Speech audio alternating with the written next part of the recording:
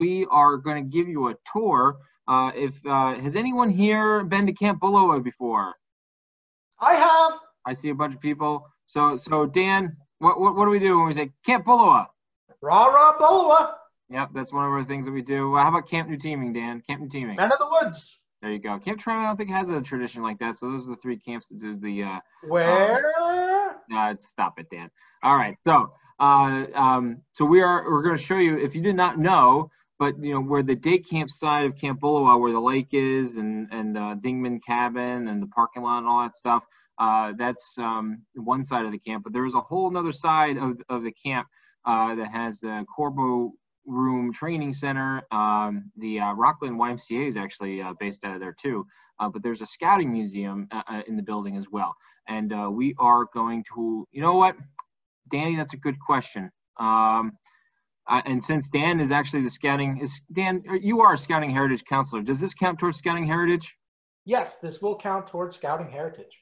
Great, great, great, great. Um, awesome. So there you go, uh, Danny. Um, and uh, anyway, so we're going to show you uh, the Scouting Museum at, at Camp Bullowa. There's some pretty interesting stuff there, uh, and uh, we're gonna we're gonna get started. Okay. So Dan, I'm just going to turn it over to you. If you have any questions, please type them to me. Dan will not be monitoring the uh, chat, so make sure you are sending them to me. All right. Go ahead, Dan. Thank you. All right. So, like John said, uh, myself and Kim, we're down here at the Bullowa Scouting Museum. It's a small room, but it's jam packed with tons of scouting history. Uh, there's a lot of stuff here. I also brought a few neckerchiefs from my own uh, personal scouting collection that I've uh, built up over uh, recent years. Uh, but let me just pan the camera around. I'll show you the whole room a little bit.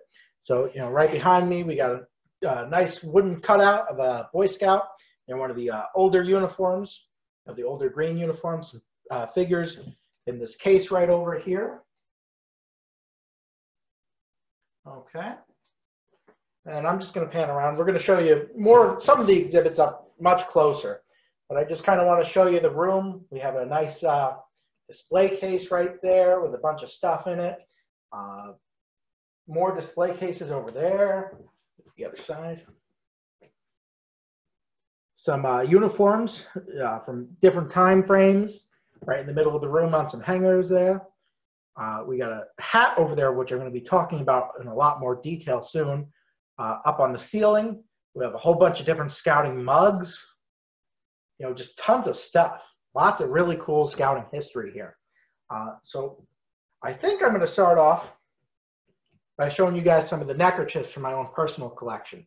Uh, so, you know, I've been working at Camp Bullowa for a number of years now. Uh, well, last year was my first year at Camp Bullowa, and uh, you know I, I love Bullowa. It's a fantastic place to be. I also worked at Camp Nooteeming back in 2016, and that's also a fantastic camp.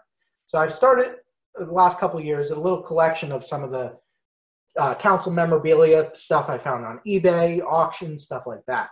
So I've got a couple of neckerchiefs over here from my collection. So I have a Camp Bullowa staff neckerchief right there. And you'll see it says Rockland County Council on it. Bullowa used, uh, before the councils merged, Rockland County used to be its own council. You know, and then I have another one here, and most of the Bullowa neckerchiefs that I have are from the uh, are from the time that uh, it was Rockland County Council. I don't know if there's any out there that say Hudson Valley on them. I don't think there is. I have another blue one here, and this one's actually also in the museum elsewhere. I'll probably show you that a little more detail too. Then I've got some Camp Nooteeming stuff here. So this one, this one I really like because it's Camp Nooteeming staff neckerchief, and it actually has a year on it. So it says 1968. So that's Camp Nooteeming staff from 1968, and that used to be the Dutchess County Council. And then this one, very similar, it's yellow. This one was probably more like a participant or leader neckerchief because it doesn't say staff on it. Um, same image though, so it's probably from a similar time frame, uh, if not the same year. So uh, just some cool, really interesting stuff right there. And I'm gonna turn the camera around and show you uh, the hat that I want to talk about that I just find extremely fascinating.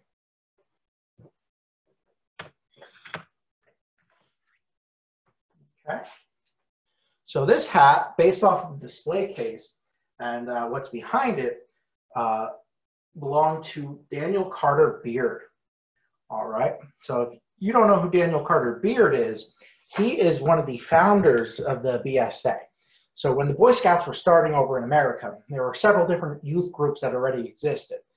One of them was the Sons of Daniel Boone, which Daniel Carter Beard actually started. And it worked very similar to scouting, but it, they taught like the outdoor skills, the pioneering skills, stuff like that, knots. And, uh, you know, they ended up merging that group with a, a couple other groups and formed the Boy Scouts of America. So he was one of the key organizers with the Boy Scouts of America. And he, he was born out in Ohio, but then he moved to the East Coast. And, uh, you know, he lived in Rockland County for a long time. And he's actually buried in Rockland County. Uh, so, you know, we got some stuff from him here at the museum. So, like I said, the hat, which I showed you you know, it's right there. We also have a book over here that's signed by him. So you can see his signature on it in the display case. Okay. And uh, a lot of cool stuff. So I think I'm going to turn it over to Kim to show you some other cool stuff. So let me just move the camera over to the exhibit that she's at. All right.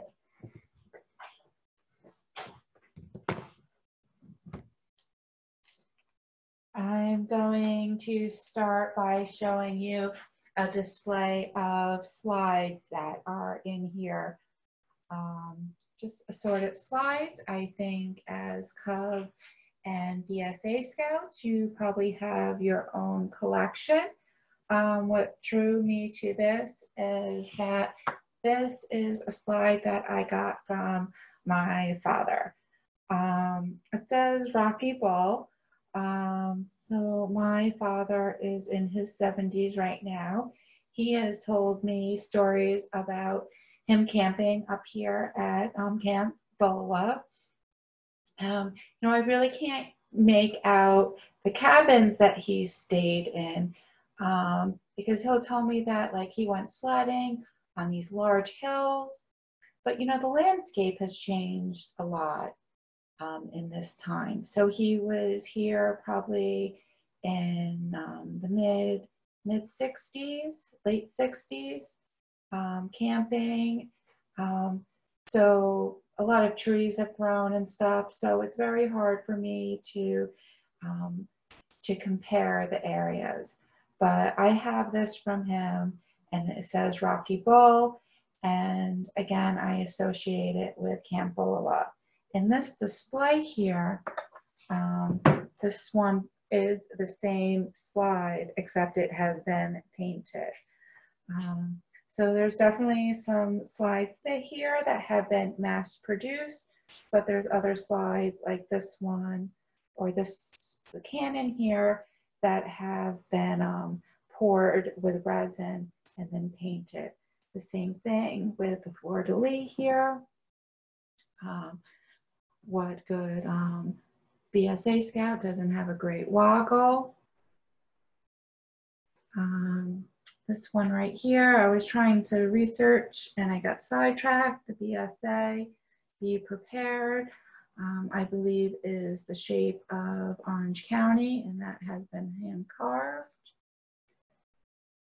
Um, so just some really interesting slides here. Okay, so a lot of cool slides right there. Uh, I also want to show you guys another exhibit that's right behind me over here. Let's see if the camera wire will reach it. Okay, so in this display case, you can see the blue neckerchief that I showed you that I have a similar copy of. Uh, it also has two pictures behind it of the Bullowa sisters. So you know, this is what our camp is named after. And the Bullowa sisters actually provided a lot of the funding that was needed to uh, to to uh, purchase Camp Bullowa back when it was first, first purchased in the uh, 40s. Uh, so that was very important to the camp. You know, and then we also have something else very interesting here. So I'm just going to take the computer with me because my wire is not long enough. So we have a book here that says Lions Through Webelos. So for those of you who don't know, uh, lions are a relatively new thing right now uh, with kindergarten age boys, and they're able to join Cub Scouting. But lions used to be a thing many years ago, and uh, you know when they got rid of them for a long time, and then they they brought them back recently. So that's a very interesting thing about the lions. We also have a Rockland County Council's Council of Rock right over here. So, you know, that's a cool little piece of history. Uh, a lot of old books on the shelf, an old mess kit right there. That's pretty cool. And an old merit badge sash with some old merit badges. And then behind me, we got a picture up here of the uh, Payton Lodge. And that's one of the newest additions to Camp Bullowa. And that's a new cabin that was built in about 2010, uh, you know, in memorial to uh, its namesake, Payton. But yeah, so that's uh, very interesting stuff there. Uh, so I'm going to turn it back over to Kim to talk a little more. So Dan had just mentioned an old kit. So I wanted to show you this old pack here. So does this look like the packs that you guys bring to your sleepovers? A little bit, huh? It's got some dirt on it. So it says Boy Scouts of America, National Council. Okay. I'm going to be gentle, but it does have its original contents in it. It has a canteen, an official trail canteen.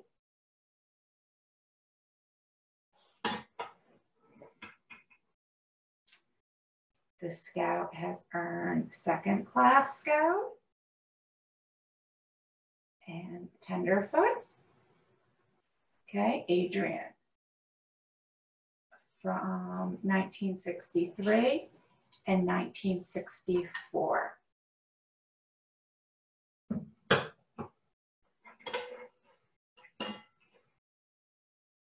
Okay, part of the mess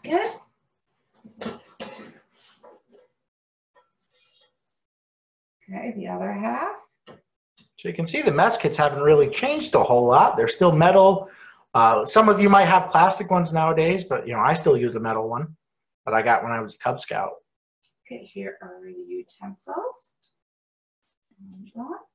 So again, they haven't changed much. Um, this utensil, this mess kit has come, was made in England. So that has changed a bit. Okay.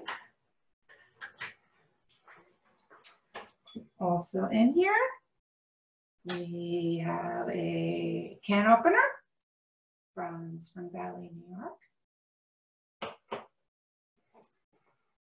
We have a slide that has not changed at all. I have a button, probably from his uniform. A trusty compass.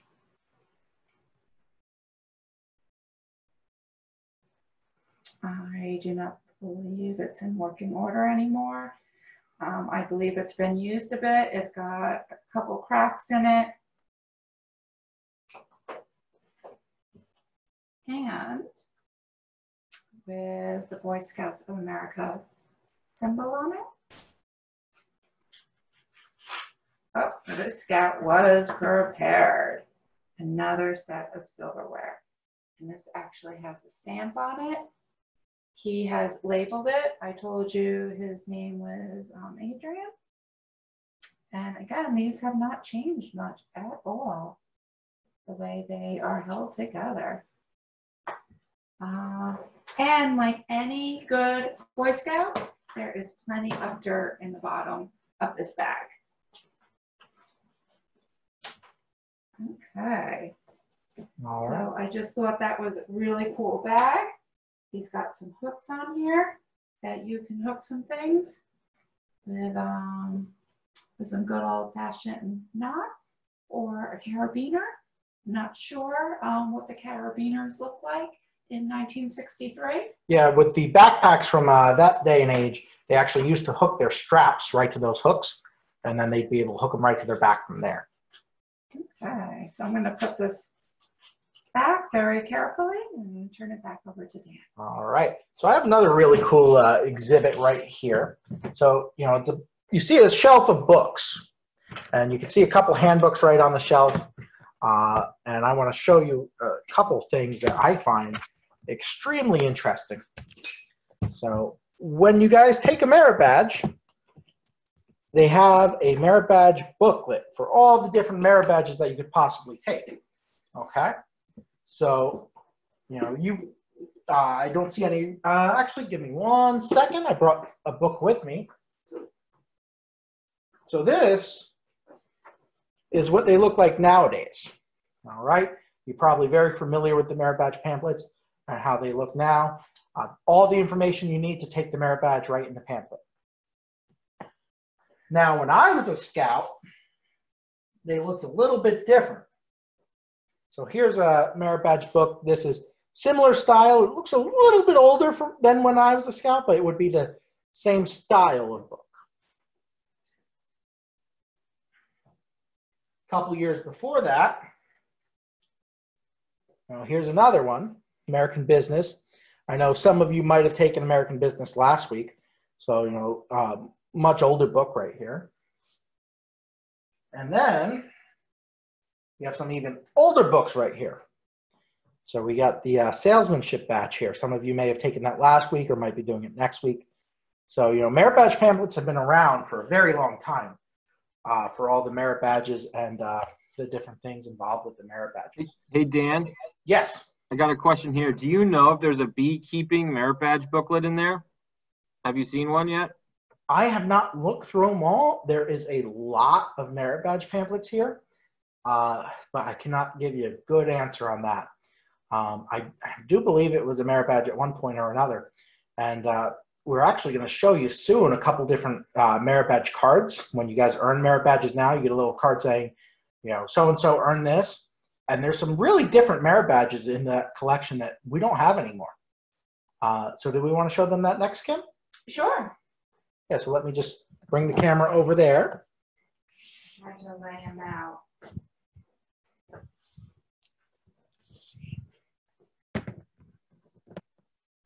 Okay.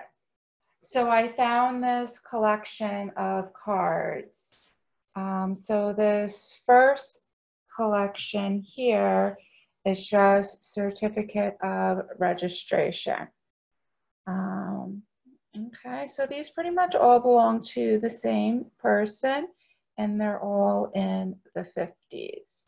So this says 1953 to 1954. So this is one um, design and this is a second design. Forward on Liberty's team. And the date on here is 1956 to 1957.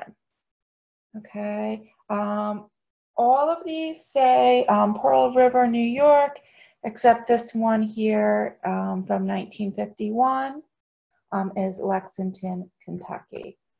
Um, and it has the same design I showed you originally. Okay.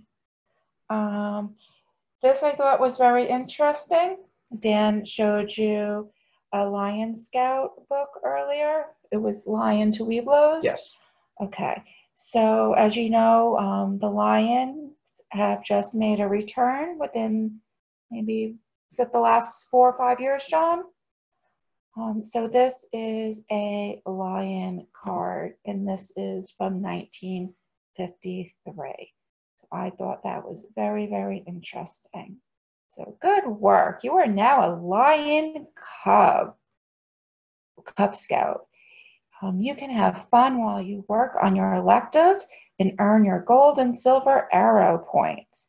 When you are nine months older, you will be Weeblo, your den mother will show you how. So lions today are kindergarten age boys, and this was a question we actually had come up earlier, and I wasn't sure at the time, but this answers it for us. Uh, Lions back then were the rank before Webelos.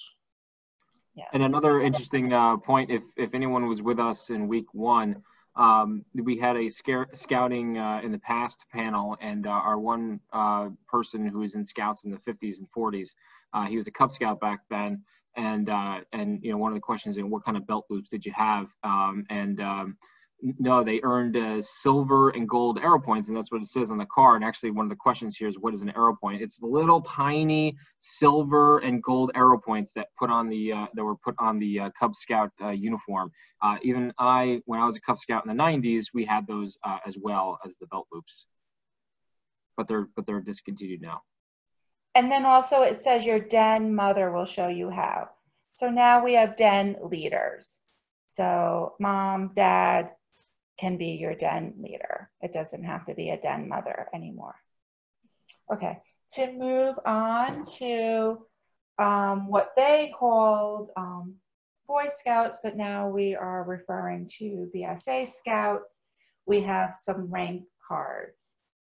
Um, so here is one for a second class scout in 1954. Um, so you have advanced another rank in scouting, and this certificate is given as a recognition of what you have accomplished. It has taken work, but you have, have the satisfaction of reaching the goal that you set for yourself. Now there is a new goal ahead, your next scout rank. And along with this, there was a record um, now you would see this more in your scout book now, but it had the requirements of your hike, your hiking methods, your first aid, and under here it said you had to dis, um, demonstrate um, certain things here. Um, you had compass, measuring, map reading, um, cook a meal in an oven. It's almost like a blue card for your scout rank for the uh, second Yeah. class. fire building, hike cooking, cleanup, um, be observant, observation, wildlife, take a hike. So I thought that was very interesting, very fragile. I also have cards here that show first class scout, life scout, Um, these are all a little bit different. This is junior leader training. Now, today we call it NYLT, which is National Leadership Training. Uh, so, yes, they, they have changed names of some of the things that you guys may recognize, probably very similar though. This card is folded in half, but I don't want to unfold it. I don't want to ruin the integrity of it to see what's inside. Okay, I have a totem chip. So, very similar to the cards you get today, a little different, but uh, in style. But, you know, you guys probably all learned, earned your uh, totem chip before. Here would be um, your lifeguard BSA card. Um, so if you were on staff at a camp, you could earn this. This is a Citizens Now conference um, earned at West Point, New York. And I guess this would be an adult leaders card. Well, no, it actually No? says it's an explorer's card. So, you know, anyone here part of venturing? Can I see a show of hands? Anyone in venturing? No, no one? Oh, I see a couple of people. Okay. Uh, so, venturing is a program that's kind of 14 to 21 and it's co-ed in a uh, for exploring program. You know, exploring today is more career oriented. And I have an order of the arrow card here. I do not know what those cards look like these days, Dan. I do not. Okay. It must be a secret. So we also have a lot of merit badge cards over there, and Uh, you know, we, we are running a little long, so let's just pick a few of the more interesting ones. of the I guess we'll show the four that I picked out that we no longer have. Yeah. Okay, so I saw a badge for World Brotherhood. So Um, World Brotherhood is probably very similar to what citizenship in the world is nowadays. I have firemanship.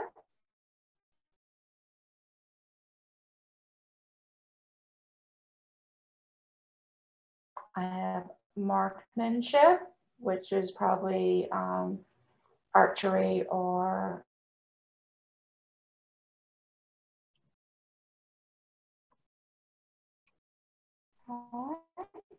um, the blue cards themselves. We're still blue. Okay. So there is one more piece I want to show you in the museum uh, before we end that I find extremely interesting. So let me just move my camera back over here for a second. Okay. And it's actually one of these uniforms that I got right behind me. So it's the old green uniform. Yes. Uh, Boy Scout uniforms used to be green. Okay. And, you know, we can look at the uh, insignia on it. So this was a unit commissioner. Now, I don't want to mess with it too much, uh, but that means so this was probably an adult leader's uniform. And the council strip right here, now again, I don't want to mess with it too much. I don't want to pull at it uh, to try to make it visible for the camera just to show you. But it says Rockland County Council, so it's someone who is local. All right. Adult leaders, even today, they still can earn knots. And they all look very similar. This one right here uh, a little faded on the camera there. The red, white, and blue rope knot, that's what you can get if you get Eagle Scout and you go to become an adult leader, you would get that knot right there. Uh, then one other thing I want to point out I find very interesting is the National Jamboree uh, patch right here. So this uh, leader looks like he went to the National Jamboree in 1964 at Valley Forge. So before we had the summit, you know, they would have the Jamboree different places. It was at Fort A.P. Hill in Virginia for a number of years. Uh, but back in 64, it was at Valley Forge, the same place that uh, the Continental Army camped during World War, uh, yeah, during the Revolutionary War. Uh, during the Revolutionary War, uh, George Washington and his army uh, camped there during the winter, and it was a very rough winter. Uh, so with that said, I think it, we have one more thing. Just really quick. Okay. Can I end it right? Yes. So we have one more thing over here. I'd like to end it with a scout is trustworthy. A scout is loyal. A scout is helpful. A scout is friendly. A scout is courteous. A scout is kind. A scout is obedient. A scout is cheerful. A scout is thrifty. A scout is brave. A scout is clean. And a scout is reverent. Yep. All right. So there's a ton of other stuff in this museum. We just don't have the time to show you everything. There's a lot of other scouting museums out there too. Uh, so you know, if you ever get a chance to go to a scouting museum, I highly recommend it. Uh, you know, the one at Bullowa, you can make a, an appointment to come. It's not open all the time, but uh, you know, there's other scouting museums out there. I've been to one up at Ten Mile River before. There's the National Scouting Museum at Philmont. Um, they're all they're, they're all over the place, and there's a lot of great ones out there, and a lot of history in scouting. You know, nowadays there's the Scouting Heritage Merit Badge, which was just started in 2010 when the Boy Scouts hit their centennial, their 100 year anniversary. And that's a great merit badge to take. Some of you might be taking it. And, uh, you know, it's all about scouting's history because there's so much history there. The organization has been around for over 100 years at this point. You know, started in 1910 in the America and before that in England. So uh, I hope you enjoyed it. And if we have any questions, I can take them now. Well, I got a couple uh, uh, points that Dan already talked about uh, the uh, national museums. You know, I did a quick Google search uh, before this, and I couldn't believe how many scouting museums there are across the country. Um, you know, uh, and they're all over the place. Look, I had the um, good fortune to be able to go to the National Scouting Museum when it was in Texas, but they moved it to Philmont, as Dan said. So that's actually a relatively new change. So it's at the Philmont Scout Ranch. If you ever have a chance to go to Philmont, please please make sure you go do that. Uh, but do a, a, quick Google search uh, uh, for that. I guess there's also a virtual one that you can uh, that you can see as well. Uh, and then if anyone's in the Northeast, uh, one um, museum that I recommend that you might not necessarily think of as a scouting museum is the Norman Rockwell Museum in Massachusetts. Norman Rockwell did a, a bunch of the artwork and the paintings of scouting back in the day. So it's a big point of that. So um, Dan, I have a question here. Um, if you could add a 13th point to the scout law, what would it be and why? Oh, that that's always a tough one. Uh, you know, the scout the scout law is really good as it's written, and you know, you could name a whole lot of stuff uh, that you think would be good, but it's probably covered in some respect by the other points. You know, uh, if I had to choose one, I'd say a scout is respectful, but you could say it's the same as courteous. So, uh, you know, it's it's tough, but uh, you know, I think the law is pretty pretty good as it is.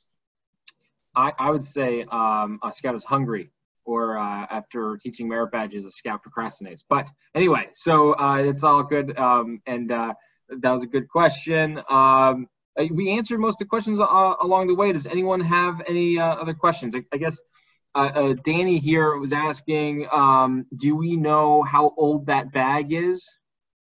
Do we know? Did it say anywhere? I, I do not think we know how old the bag is. It was 1963. 1963, Kim says. 1963. That's great. Awesome. All right. Does anyone else have any questions? If not, I think we're good. Danny, Kim, thank you so much for uh, uh, heading on over to the other side of camp and, and doing that. And um, if anyone has any questions, we'll see you uh, later at 3 o'clock. And just remember, we do the uh, closing and end of day announcements directly following the guest speaker. And, and just a reminder, guest speaker today is someone who's to be talking about wood carving. All right, so we will see you at 3 o'clock, and we'll also see you at your merit badges. All right, guys, have a good day.